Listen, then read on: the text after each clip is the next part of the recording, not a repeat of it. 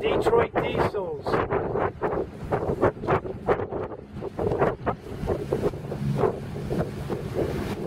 Looks like a 46 footer.